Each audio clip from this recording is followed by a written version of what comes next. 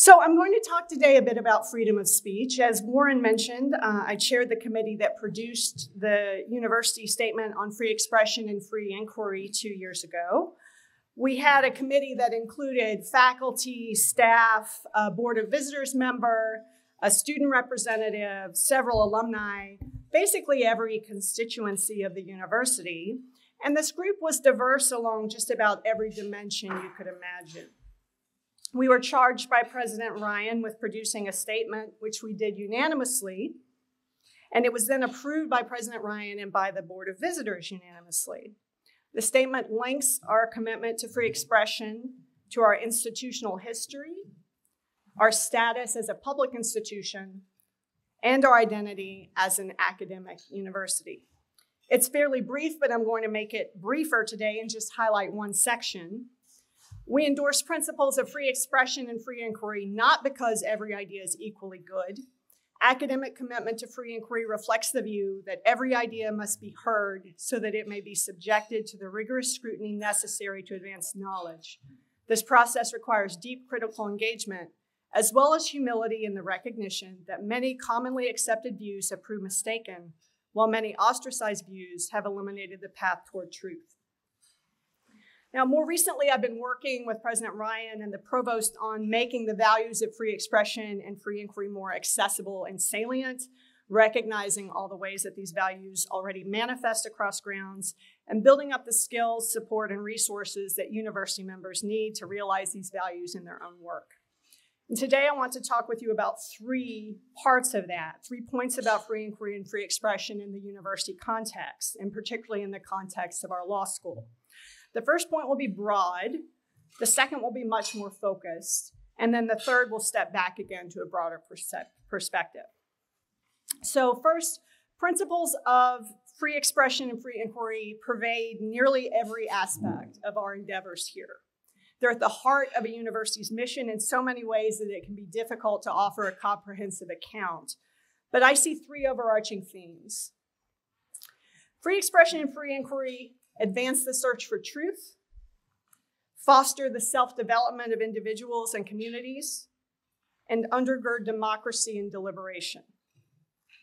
So, first, truth, free inquiry, and academic freedom are at the heart of our research mission, our quest to advance knowledge Self development, these values are also foundational to our teaching mission and to everything we do inside and outside the classroom to educate our students and to help them become self-aware, self-aware and fulfilled people and professionals. Here are just a few of the amazing statistics that the law school can provide on the type of process and educational support we try to give our students. And I'd be remiss if I didn't recognize the connection between freedom of speech and democratic values. Theorists and practitioners have long recognized the relationship between free speech and the democratic process, including that the absence of one typically indicates the absence of the other. As lawyers, we have special duties to uphold the Constitution and the rule of law, and we seek to prepare our students to be wise and ethical citizens and leaders. Now, in discussions about particular issues within the broad realm of free speech, it's possible to lose sight of a simple but powerful fact. Free expression and free inquiry pervade our work because they relate so closely to so many of our core functions as a university and as a law school.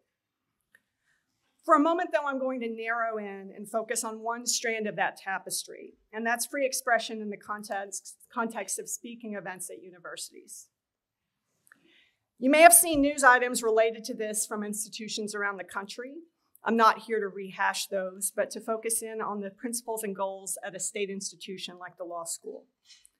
The first thing to say, and I'll come back to it later, is that the law school hosts a truly astounding number of events every year with speakers and topics of all persuasions and viewpoints. The events calendar is simply too big and voluminous for me to be able to depict it. So here's just a week and a half that I would say represents about a medium level of activity at the law school. So there's a lot to celebrate here, but it's worth taking a moment to go over some background. The law for public institutions in this area is fairly straightforward. In the context of student events, student groups are generally not state actors, which means that they're to be treated by the government the same as any private individual. This means that a public university may not disinvite a speaker or cancel an event hosted by a student group for reasons having to do with the viewpoint of the speaker. Likewise, a public university may not suppress or interfere with the speech of protesters or demonstrators because of their viewpoint. And all of this remains true regardless of whether the university has subsidized the speech activities in question in some way. For instance, by providing student activities funds to a student group, or space for an event, or some other resource. The Supreme Court's made this very clear in a long line of cases, including one involving this institution. Providing resources for student speech does not empower institutions to discriminate by viewpoint. The job of a school is to ensure that any scheduled event or demonstration occurring on its property proceeds safely and successfully. This may involve content neutral regulations to ensure that events proceed safely and don't interfere with normal operations, normal use of facilities, ingress and egress, and so forth. And reasonable content neutral regulations like these are permissible. What a state cannot, what a school cannot do is interfere with speech because of its viewpoint. Groups and speakers have a right to be heard, but not to be free of counter demonstrations or criticism. Counter demonstrators have a right to speak, but not to interfere with an event's proceeding on schedule or with anyone else's ability to see or hear a speaker. Basically, I say the goal is that everybody gets heard and nobody gets hurt. We have and have long had at UVA policies that say as much. So, university policy says that no person may disrupt an invited or permitted speaker or hinder the ability of other attendees to see or hear a speaker. It also says that the university may implement content neutral time, place, and manner regulations to ensure compatibility with safety and normal operations. And the university has content neutral policies about certain things like amplified sound, chalking, and posting. So these are the relevant policies, but it's equally important to communicate these policies and the underlying values. That happens in a variety of ways. I already mentioned the statement on free expression and free inquiry, which can serve as a, as a touchstone explaining the basics and the underlying principles of free inquiry and academic freedom. The university has a free speech website, which is what you're looking at here, which includes the free speech statement, a collection of the relevant policies, an FAQ section, and a mechanism for reporting concerns about infringement of speech rights, which all public universities are required to have by Virginia law. The same information is also included in the online undergraduate and graduate student handbooks, and all new and returning students also must read and acknowledge an enrollment module on freedom of speech before gaining access to the student information system. This module explains the basics of protection of speech at a public university, as well as our norms and aspirations regarding respect for others. And much more communication happens at the school level. We at the law school have a synthesis of the relevant policies that we maintain on our website and distribute through various means, including through the event handbook that gives guidance to all student organizations on planning events. And perhaps most important is talking about policies and values in person, and we try to create many opportunities for that. For example, Risa and I uh, workshopped the speech policy document with students we cover speech policies and principles with student leaders, such as the community fellows that are in every 1L section and leaders of student organizations. We have sessions at orientation and elsewhere. For example, this fall we had a panel at orientation that included my colleagues Andrew Hayashi and Julia Mahoney and myself, where we spoke to the entire 1L class about the ability to listen and engage with opposing viewpoints as an important part of legal education. Outside the law school, President Ryan and I both spoke to the importance of these values with the incoming UVA first year class at their convocation. And perhaps most importantly, there's one on one conversation.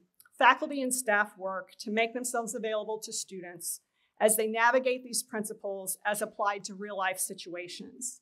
And our student services colleagues, particularly the student affairs team, works closely with student organizations on events and have their doors open to all students who are working through these issues in organizations or individually or within social groups. Within a law school community, we can also have personal conversations about the relationship between First Amendment principles and the professional obligations that our students will have as members of the bar. We can talk about the fact that even though they and their peers may have very different views on very many issues, they're also part of the same community and lifelong professional colleagues. And they have the, they have the opportunity here to build the kind of community that they want to live in and they want to help create wherever they go after here. So we can celebrate that we've hosted public officials of all ranks and all persuasions, from, from Vice President Pence on main grounds to our local representatives. We've hosted any number of judges with a wide array of jurisprudential approaches, religious leaders, attorneys from every kind of private and public practice, and discussions and panels on any number of topics, all without incident, safely and smoothly, without losing the rigor and thoughtfulness that have long characterized this community. But this also brings me to my final point where I'd like to step back a bit. It's easy to focus on high profile events because they are an important part of what we do. But if they were all we did, we wouldn't be a law school. We'd be an accredited speaker series. There's so much more that we do that is at least as important, if not more so, both for legal education and for cultivating open discussion and free expression. From a First Amendment perspective, it is sufficient to offer everyone an opportunity to talk and to get out of the way. And on some level, that's what state institutions must do. We cannot control the conversation in order to create more space for some and less for others. But we can foster norms that approach free speech less as a cage match and more as a community endeavor. We can suggest that what matters as much as an event is the conversations in the run up and the aftermath. We can model that the best approaches involve more listening and unfailing respect for every member of the community. And in this regard, this law school has much to offer. Many of you who went here will recognize this place as one that has community at its center. When I speak to my new tort students right after they've arrived, I ask, What brought you here? And so many of them say something like, When I visited, this seemed like a real community. Or people seem happy here. Or it seemed like here I could be not just a law student, but a human being. I've said that so much of what we do relates to free expression, and this does too. Much of the work of having real discussions involves building trust, building relationships, and seeing yourselves as part of a common endeavor and a shared community. And if we find fewer spaces like that out in the real world, it becomes more challenging, but all the more important to try to create them here. So everything else matters along with events. It's important to teach principles of the First Amendment and free expression and give students the opportunity to live and practice them. It's important to help turn students into lawyers. We teach them the adversarial process and train them to represent their clients this, by the way, is a photo of our students winning the International Tax Moot Court competition in Belgium.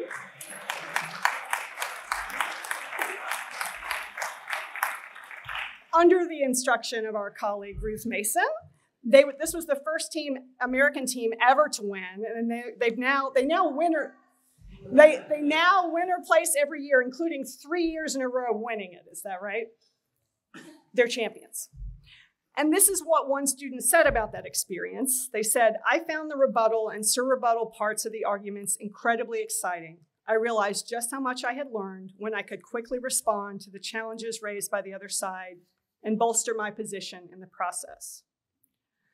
But as important as the adversarial process is, there are many other reasons to learn to listen and communicate effectively. Sometimes it's to negotiate or reach a compromise. Sometimes it's simply to understand. Sometimes it's not even to understand so much as to recognize the humanity and good faith of other people. It's important to cultivate all these modes in organized discussions and groups, and in all the ways faculty engage with students inside and outside the classroom. This to the left is a classroom shot of Kimberly Robinson, who won the All University Teaching Award this year.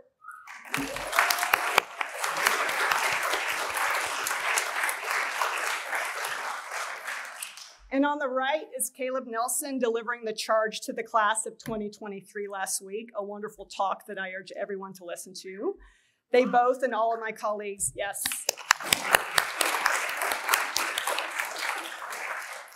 And they both embody, as all my colleagues do, faculty wisdom, guidance, and trust building in action. And let's not forget the simple, unmediated act of students treating each other as colleagues and friends. Whether it's small sections, or peer advisors, or softball leagues, or student activities, or dare I say, libel show and dandelion. I'm getting into increasingly dicey territory as a faculty member, but as a former student, I know whereof I speak. However, we do it, bringing people together matters. It doesn't create agreement, nor is it meant to, but it can build trust, it can build bridges, and it can bring out the best of humanity. From here, our students will go on to do all sorts of amazing things in all sorts of places, just like all of you have done who are graduates. We hope to prepare them to do so with sound ethics, with judgment, and skill. We hope that wherever they go, they will demonstrate that humane and respectful treatment is not reserved only for those who agree with you. And we hope that this can be a place where that approach is easy to learn and even joyful. I thank you very much.